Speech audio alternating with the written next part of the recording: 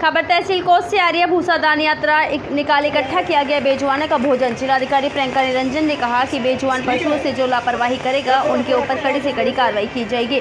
गौशाला में बंद बेजुआनों का पेट भरने के लिए विकासखंड कोच एवं नदी गाँव में बता दें कि भूसा दान यात्रा निकालकर ग्रामीणों से भूसा मांगा गया। तमाम किसानों ने शासन प्रशासन इस मुहिम को आगे लाकर भूसा दान किया। योगी सरकार के अति महत्वपूर्ण और महत्वाकांक्षी योजनाओं में गौ संरक्षण के तहत ग्रामीण इलाके में तमाम गौशालों का निर्माण करवाया गया, जिसमें मवेशियों के भोजन के प्रबंध के लिए गौ सरकार से जो तीस रुपये प्रति जानवर के दर उपलब्ध कराती है, वह महँगाई के लिहाज में न काफ़ी है, क्योंकि आमतौर एक मवेशी सौ रुपये से अधिक चारा भूसा खा जाती है। अब प्रशासन ने भूसा दान की मुहिम चलाई है, जिसमें ग्रामीणों के बीच जाया जा रहा प्राइम वे के न्यूज़ चैनल के लिए तहसील कोच से भानु प्रताप कुशवाहा।